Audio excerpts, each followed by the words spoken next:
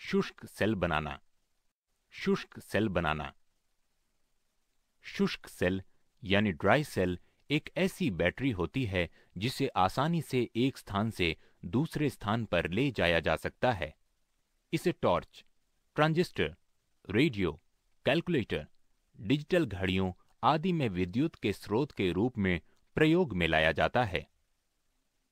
परंपरागत शुष्क सेल में बेलनाकार जिंक बर्तन के बीच में एक कार्बन की छड़ लगी होती है।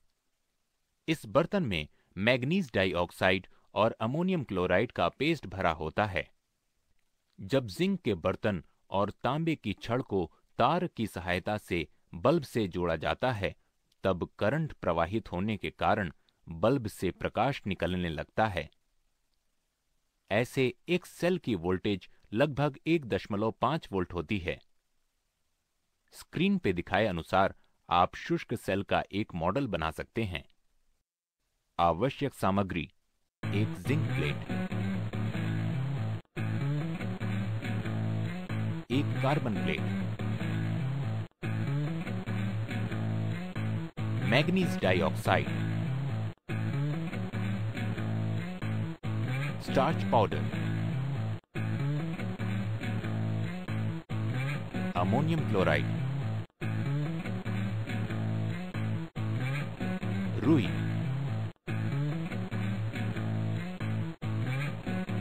तांबे का तार एक बल्ब और एक बल्ब होल्डर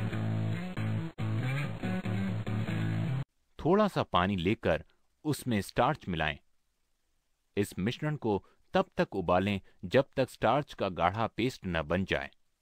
स्टार्च के इस पेस्ट में पर्याप्त मात्रा में मैग्नीज डाइऑक्साइड मिलाकर पेस्ट को और गाढ़ा बना लें।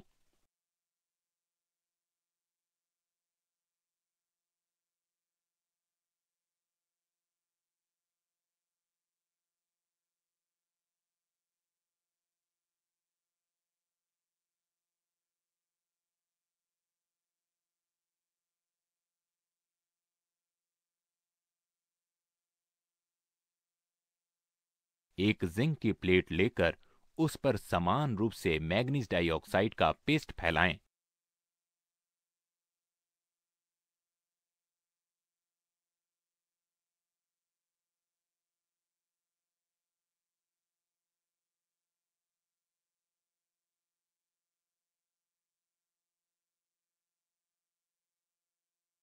जिंक की प्लेट के आकार का रुई का एक टुकड़ा लेकर इसे अमोनियम क्लोराइड के संतृप्त विलियन में गीला करें। इसे पेस्ट की परत पर बिछा दें। रुई की परत के ऊपर मैग्नीज डाइऑक्साइड की एक और परत फैलाएँ।